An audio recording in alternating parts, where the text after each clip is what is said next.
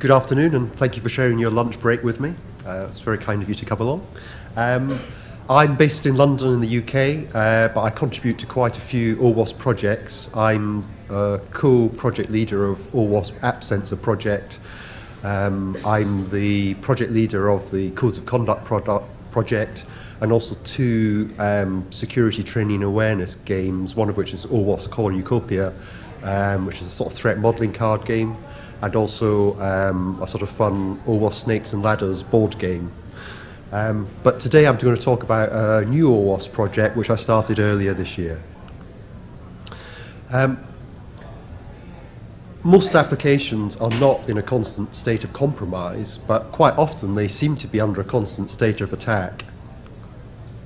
Um, attackers are often using the applications in a manner that has a large impact on the owners and operators of the applications your information security manager might be saying, well, you know, we've, we've done all these things. You know, we've, we've, we've had the site pen tested. Not that pen testing is the only thing you ought to be doing. Um, the OWASP top 10, we've got all that sorted. We've got a lot of processes and activities in a secure software development lifecycle. That's all coming, it all seems to be fine. But the other people in the business might be seeing a different sort of picture. Um, is this scenario familiar to anyone? Perhaps the business perception is at odds with sometimes what uh, information security people are thinking about. And of course, uh, as soon as you start thinking about these things, like Aladdin rubbing, rubbing his lamp, there's normally someone who's able to come along and say uh, that they can solve all the problems. so what is the problem? Um, automated threats.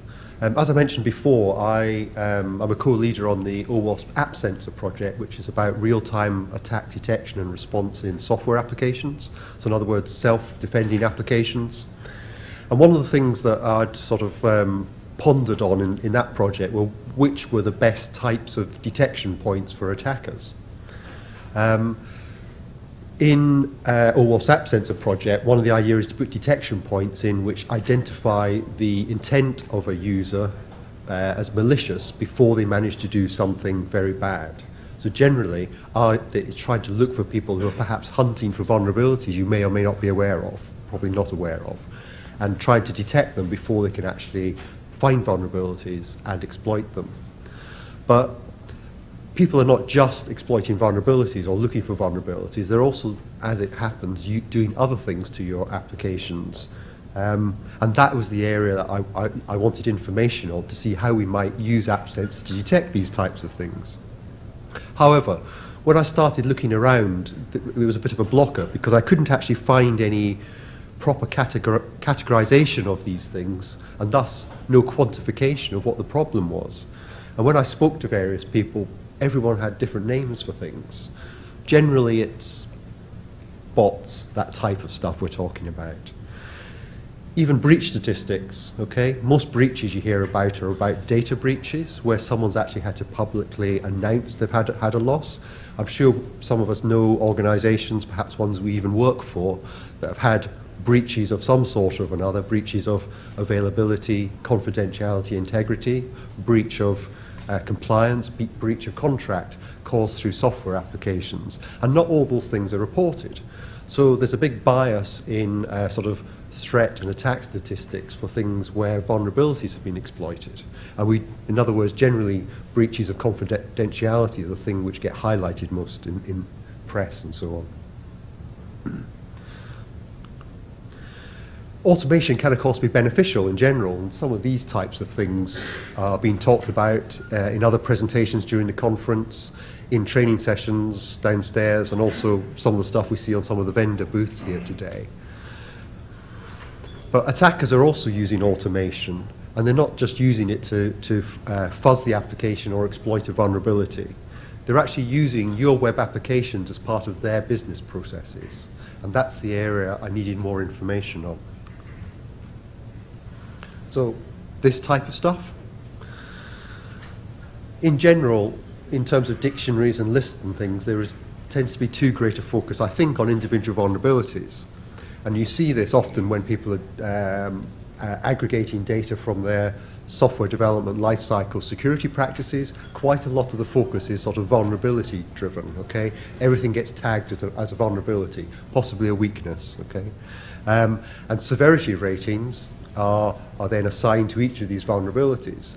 But some things like these are quite difficult to put a, a traditional severity uh, calculation on. They just don't quite fit in in the, in the same way. And some people will just not report these in terms of testing and uh, uh, other uh, technical assurance activities for security. But the misuse of functionality has a large impact on operational costs, and therefore it's also something that ought to be in operational risk registers. But why do we, why do we really need an, an, yet another OWASP project? Well, there is a significant body of knowledge about weaknesses, vulnerabilities, and some um, conventions on naming. Not perfect, but people tend to agree on, on, on, on, on, names for uh, uh, vulnerabilities. But misuse of functionality seems to be much less well defined to me. And it's often caused by design flaws rather than implementation bugs. Unfortunately, this has led to inadequate visibility.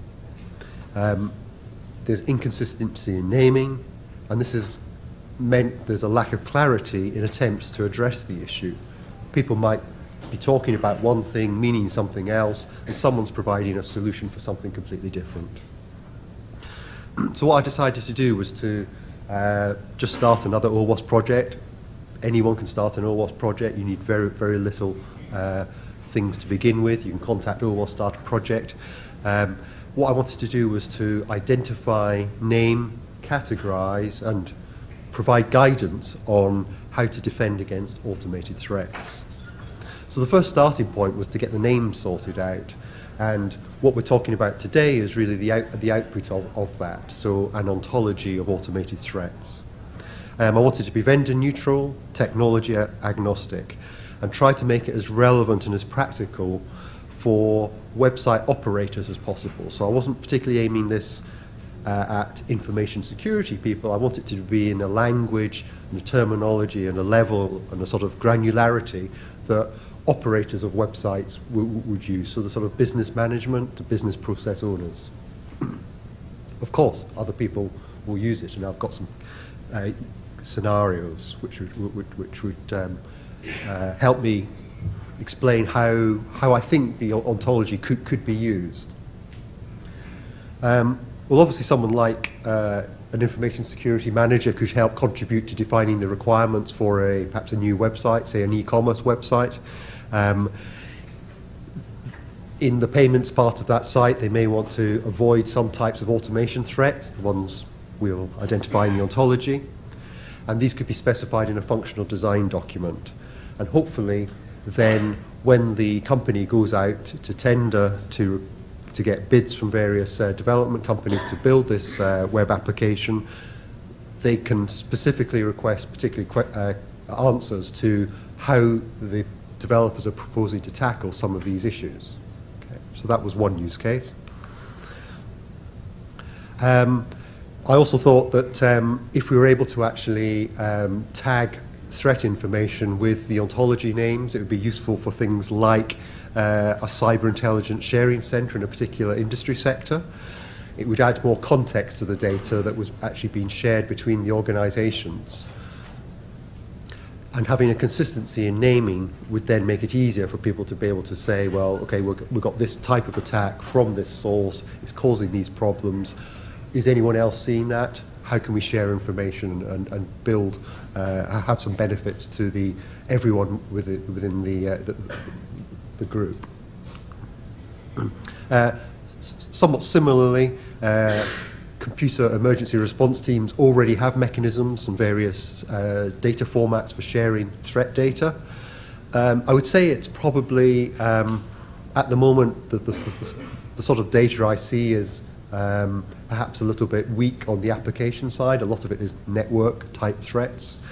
And I think if the information of the threats could be tagged by um, particular automation threat uh, names where, where possible, that would add uh, greater value to the data when, when it is actually being shared. um, and of course, I touched on this one a little bit. Uh, a lot of pen tests, application pen tests, and other assurance activities I see um, simply score uh, severity on the common vulnerability scoring system, versions 2 and perhaps 3 nowadays, and they might of often include mitigations and suggestions, recommendations for, for, for controls. Um, sometimes they're also mapped to MITRE's common weakness enumeration as well, possible weaknesses that are causing the vulnerabilities. But what I really like to see, and I try to include this in, in, in, work that I do, is that some assessment of all these things that are found, some of these vulnerabilities might contribute to uh, a, a tendency to be susceptible to some automated threats, and some automated threats may exist without vulnerabilities. What I'd really like to see is that type of thing appearing in pen test reports as well, because it adds a lot of value uh, to the uh, organization that, uh, whose application is being tested. Um, some organizations with multiple applications can be spending far too much time dealing with the effects of automation. They might be cleaning up data, resetting customer accounts, and providing extra capacity during attacks. And all these issues can have a knock-on effect on customers, uh, leading to negative feedback from them about the, the service and its availability.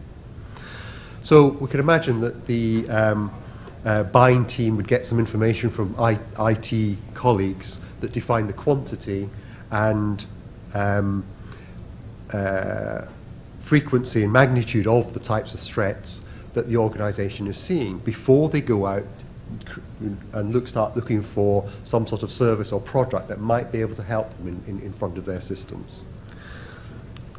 And the last part of that, from the vendor's perspective, um, perhaps a vendor's got some new product that doesn't really fit into any obvious product category or uh, magic segment of some sort or other.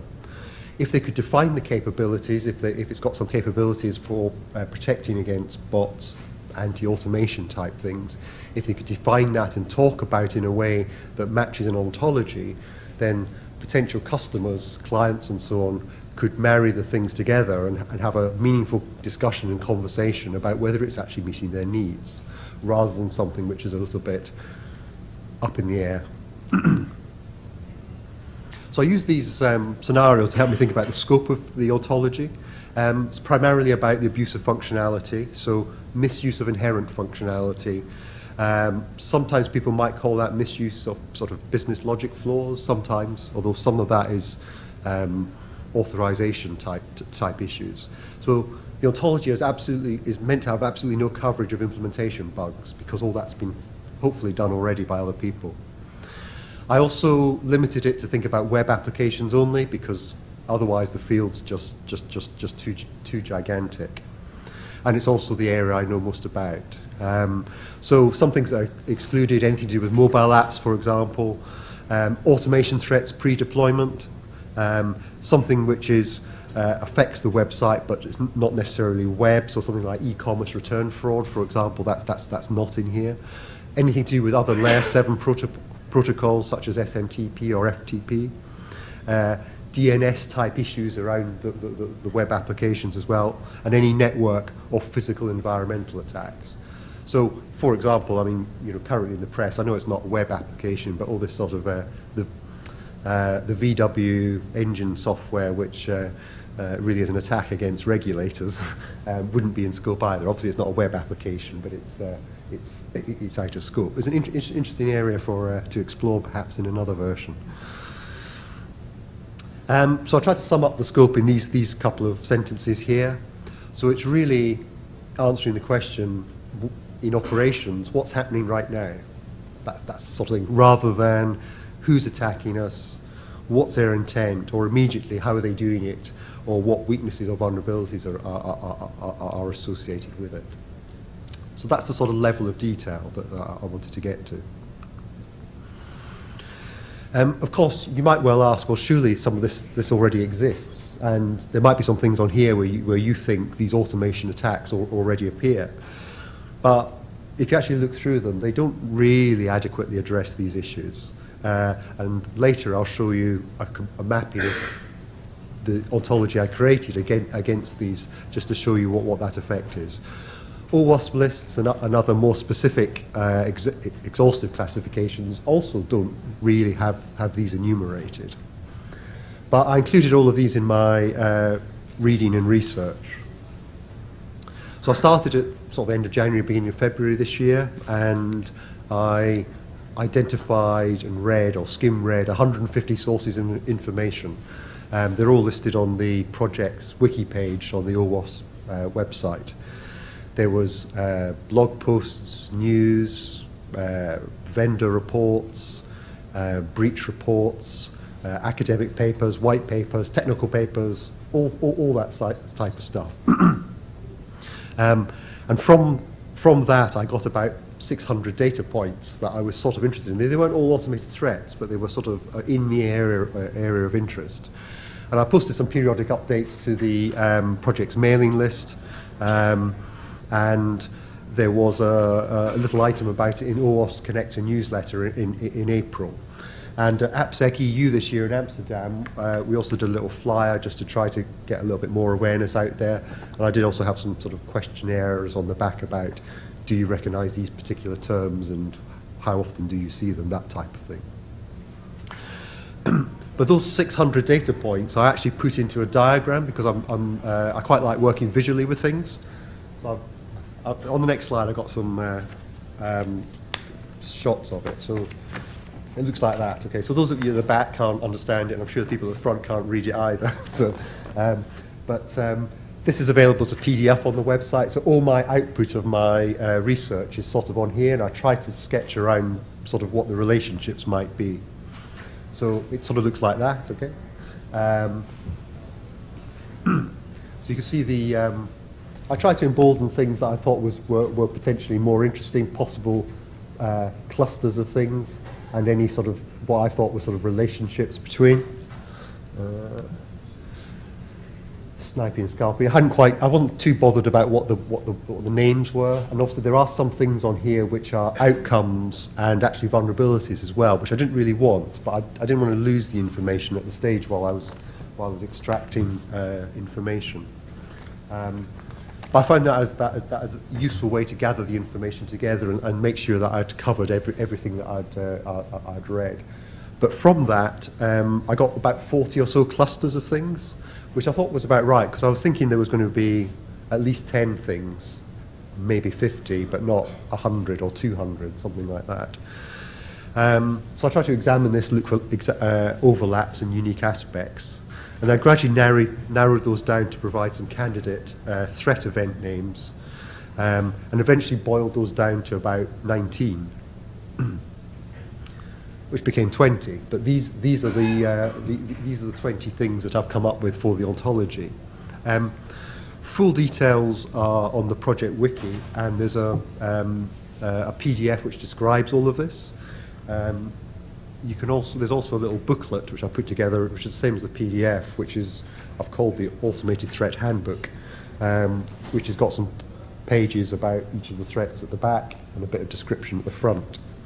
Um, so um, uh, I got down to 19, ended up back at 20, which I'll touch on shortly. Um, I gave each one an identity value, just hopefully so that people could uh, if it's useful, people could actually reference the numbers rather than the names.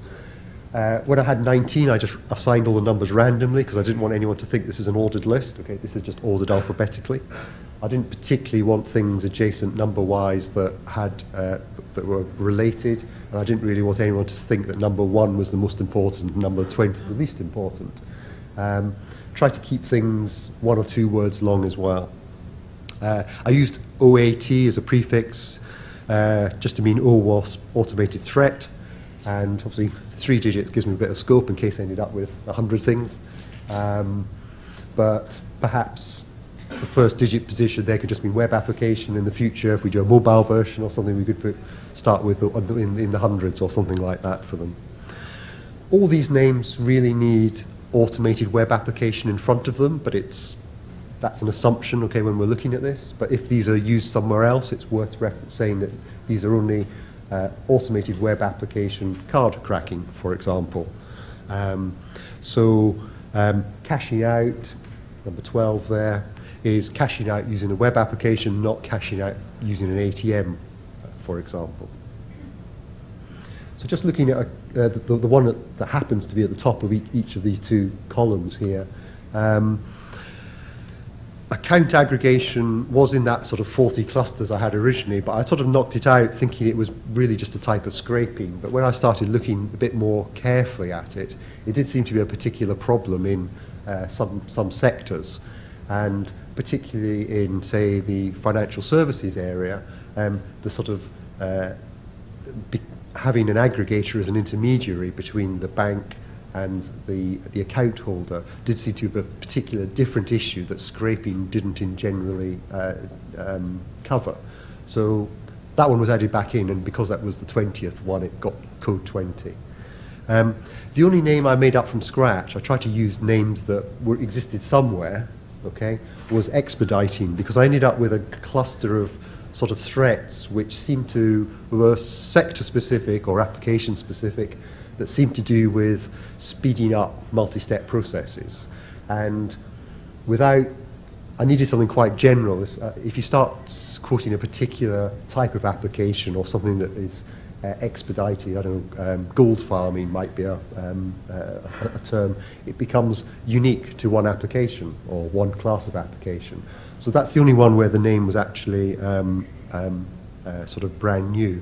Everything else tried to use names from existing literature, but of course, part of this problem was that the names in literature were not consistent.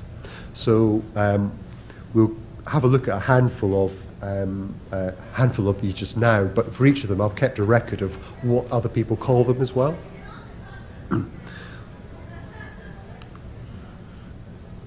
Uh, so as I mentioned before, the, uh, I really wanted something so that would be useful for operations type people in particular, uh, something could then discuss with other, with, with other groups. Um, some names were uh, made more generic, so we have sniping, for example. Obviously, auction sniping is, is, is, is the obvious case, but there are other types of sniping and timing attacks. Um, some things are um, particularly prevalent in certain sectors, so like carding, or um, account creation, and some are larger buckets that if I tried to break them down, they would sort of shard into multiple uh, uh, vertical specific threats, so things like scraping, spamming, and vulnerability scanning. I also try to avoid judgmental words in the terms, so the only one that's got the word fraud in is ad fraud, because ad fraud really does seem to be the industry name for that. Um, click and impression fraud for advertising, web-based advertisements.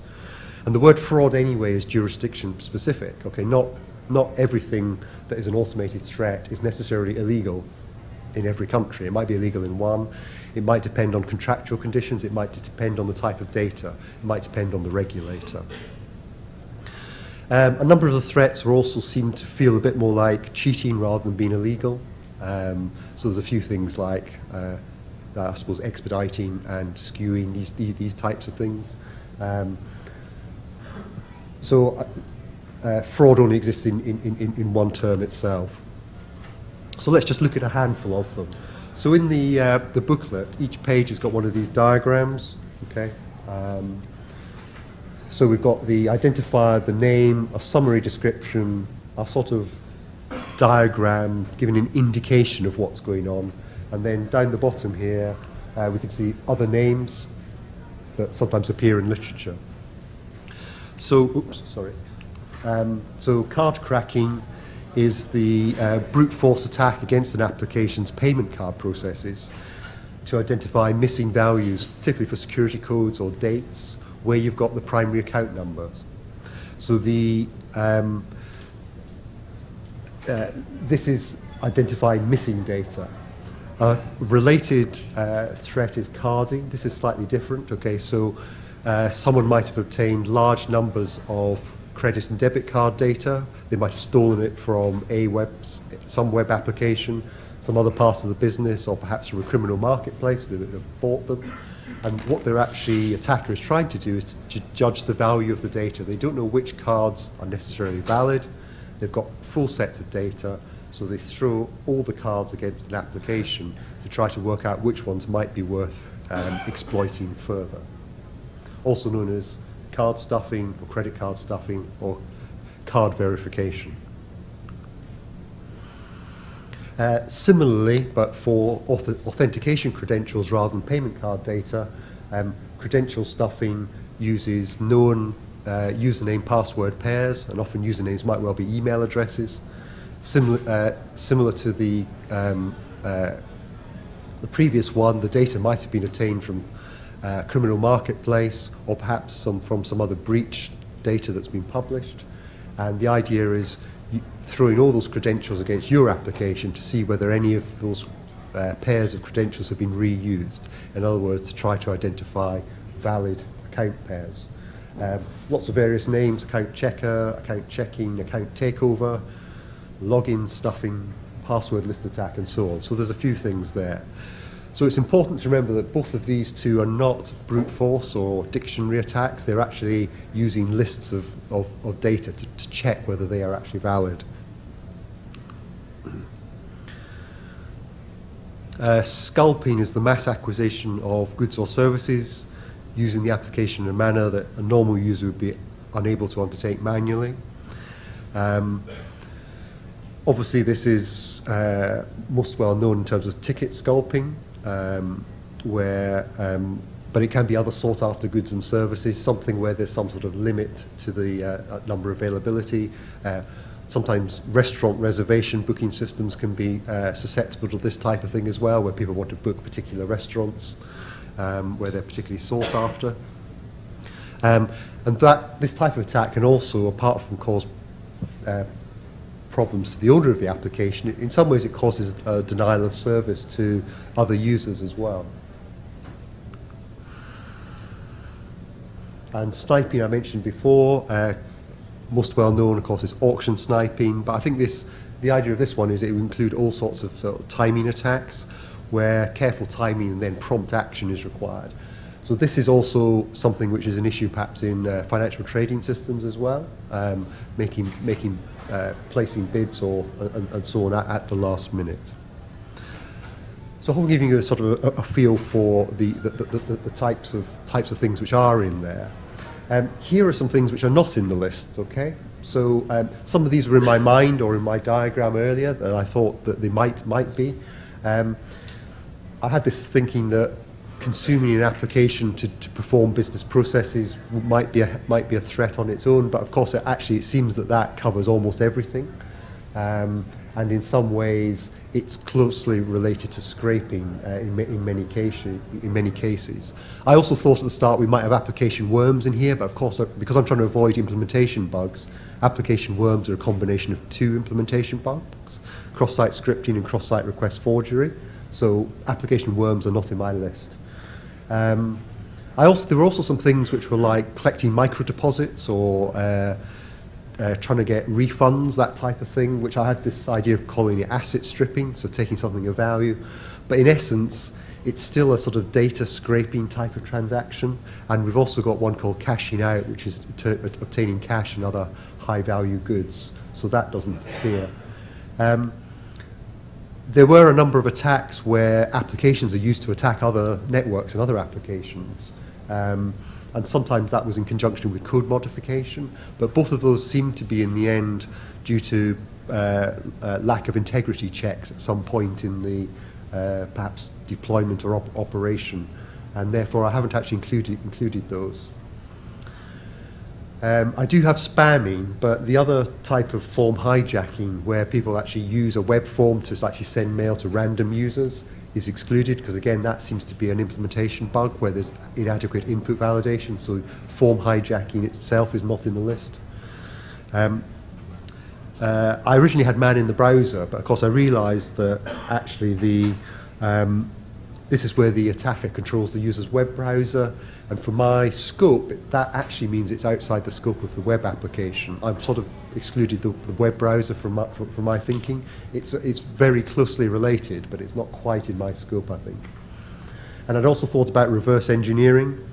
Um, in other words, trying to gain insight into how an application operates and how, it, how it's constructed.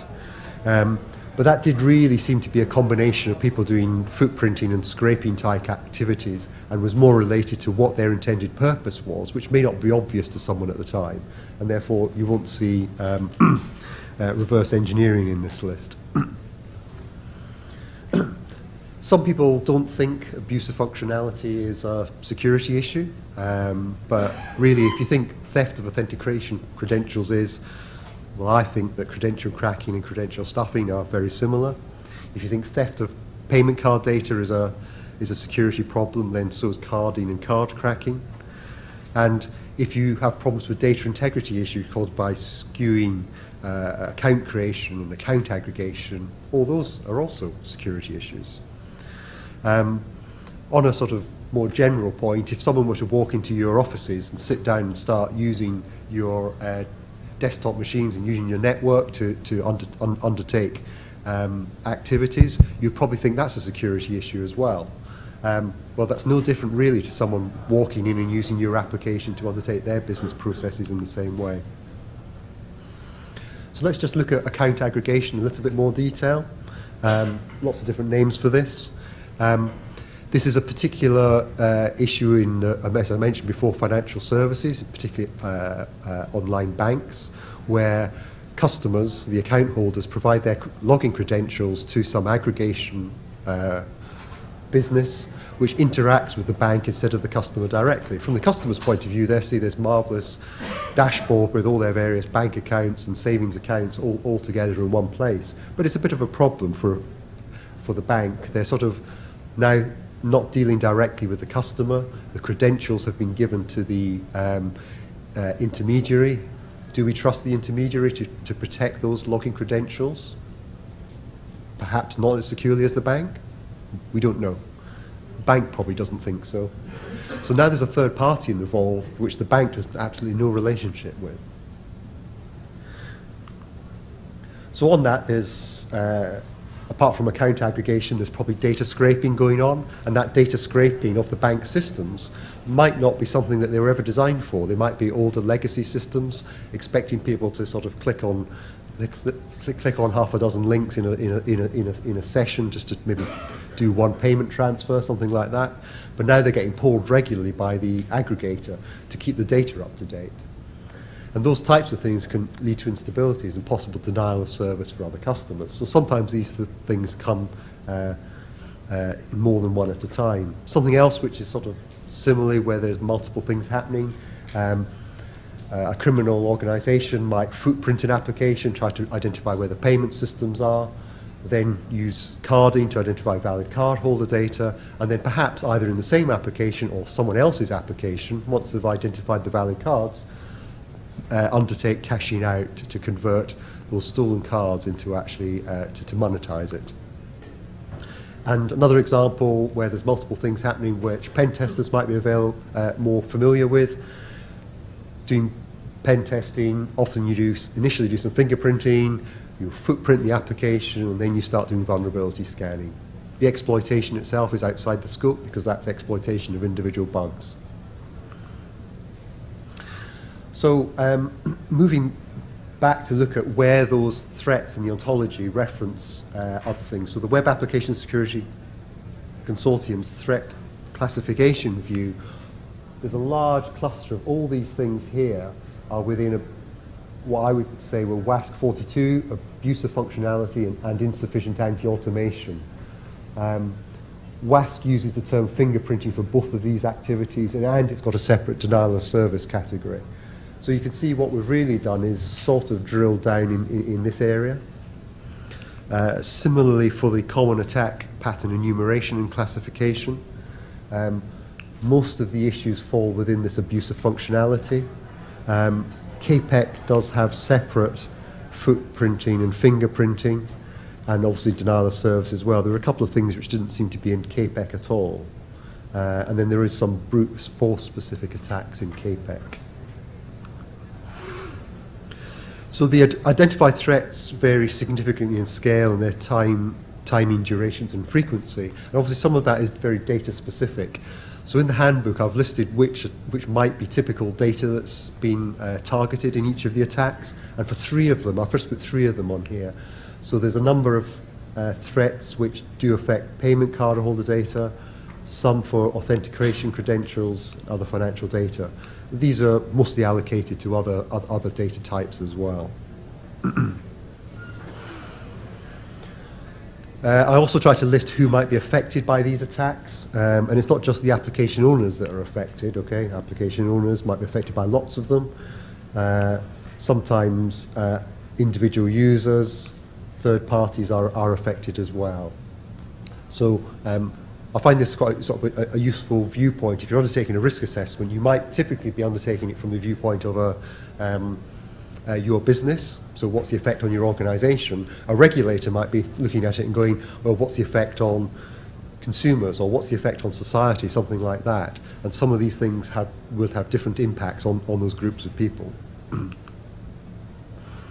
Uh, returning to one of my original questions, which was which detection points in the OWASP App Sensor project might be useful for looking for these things, well, it turns out, perhaps obviously, that system trend exceptions and user trend exception type attack detection points are the things potentially of use for detecting, detecting these things. Uh, vulnerability scanning, there's quite a large overlap with lots of different categories in, in, in App Sensor. Um, if you do want to learn more about App Sensor, um, my colleague John Melton is speaking here tomorrow afternoon about the project, so do come along and listen to that. Um, and returning to my original uh, slide with the Information Security Manager and the COO, perhaps now they can actually talk with some clarity by actually referencing particular uh, threats in the ontology. Other parts of the business can then also reference these. Possibly even risk assessments will then help can use information in the in the handbook to to uh, develop threats threat scenarios and look at what the impact is on the business. And of course, um, use this information like in one of the scenarios where we can use the data for intelligence sharing. Then, as I mentioned before, if Aladdin rubs the lamp, perhaps in the future we might see some vendors appearing um, armed with evidence about how they can specifically address these particular issues rather than just the we solve it all type, type answer. Uh, all the information is on that URL or just sort, search for automated threats. You'll find the, find the page. Um, that's what's on the wiki. Um, at the moment, it's primarily naming and cross-referencing that's, that's against these. Um, what I really want to do is add things for uh, designers, developers, and op operators, um, how to defend against this type of thing. And I think that might be easier doing it one sector at a time, because I think there's going to be um, uh, perhaps difficult to, to, to, to do it over, overall. Um, on mitigations, I suspect we've got some mitigations that are, which are, might be relevant for lots of threat events, typical sort of anti-bot type measures, and then there might be some mitigations that are very specific to particular threats. Uh, and the other thing to always bear in mind is I'm always interested in who are the perpetrators of various things. And again, this is probably going to be sector specific. And we saw some things where the, uh, the threat was actually uh, the users. So, for example, account aggregation, albeit it was via a third party. Um, but these are the types of groups which I would tend to sort of start looking at if I was doing a, a risk assessment of an application. And it's not, um, it's not just organised crime. There's plenty of other people interested in doing things to your applications. Um, some other people have obviously contributed. Thank you very much to them. I think there's some of them in the room. Um, anything that's uh, wrong or mistakes, and there are a few typos and things in this which we're going to fix. Um, that's all. That's all my fault. Uh, so it's version 1.0 at the moment. Um, I think now we've got some uh, bit of time for questions. Um, I'm also going to be around at the social event this evening on the boat if you want to ask me things specifically, and also around during the uh, rest of the conference. So first of all, that was a very original content and nice slide. So thank you. Please give him a, a warm round of applause. We got 10 minutes for questions. So uh, if you want to ask questions to Colin, uh, please please come to the microphone in the front. It supposedly works, and this is it.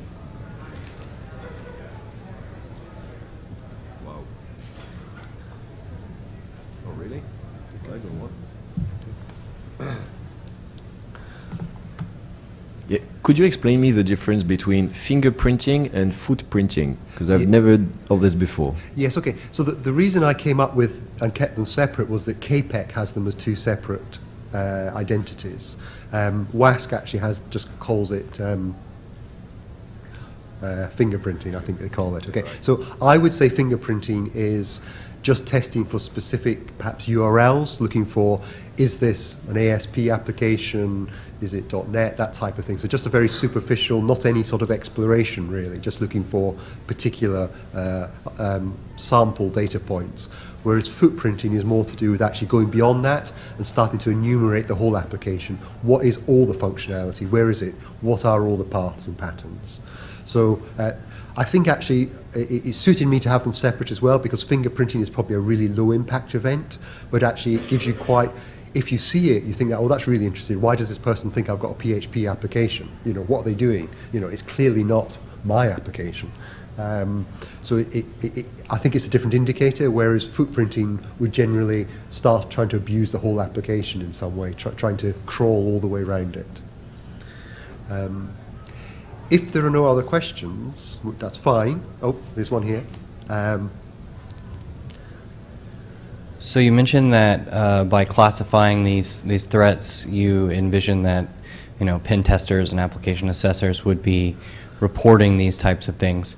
Uh, how do you see them, or, or, how do you see them reporting these things, and how do you see the consumers of the reports um, understanding them in the context of the report having vulnerability threats of pretty pretty high severity alongside these automated threats that everyone knows exist, but it's hard to say, yeah, here's how you're going to get exploited. Yes, so thank you. Um, I think what uh, what I would suggest is that having all the vulnerabilities, that's fine, and rank them uh, critical, maybe high, medium, low, and so on. Um, but everything else should also be added there as perhaps call it just call them information only findings, okay? But then somewhere forward in the report, there should be some assessment by the penetration test company, then saying, okay, given all this stuff that we've got, which things are actually most important to the business. And actually, sometimes those things might be information only type findings, but it needs to be discussed and explained. So, what I would tend to do in pen test reports is have a, have a listing based on severity, but also have a but actually we think you should address the issues in this order of priority, which could be something completely different from the severity. And that does mean that the testers need to have a bit more knowledge about what the potential for harm is to the organisation. So I would think it's probably an extra section in the report, but something that looks at combination of vulnerabilities and also these automation threats. But there might be other things in there as well, like, oh, you know, some compliance failure. That's not necessarily a vulnerability, but it's, if, if you come across it when you're testing a site, you ought to mention it. Any plans for next steps? Are you going to have like a detection technique section or go beyond the ontology? Uh, yes, okay, so the, the only thing beyond so far in the handbook is uh, we've put possible symptoms. and what I'd really like to do is to go through each of these and start looking at what are the mitigations that, in particular, developers could do. I think that's probably the most interesting area to start with first. Um, what things perhaps they should perhaps have example security requirements, write those out, that might be a starting point.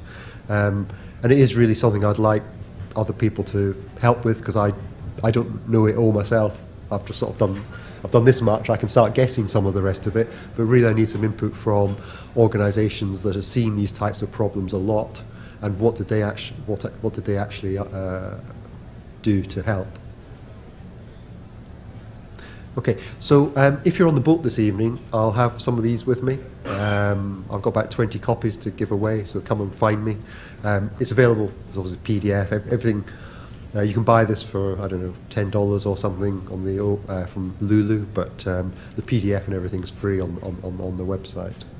Um, so um, if that's it, thank you very much. Thank you.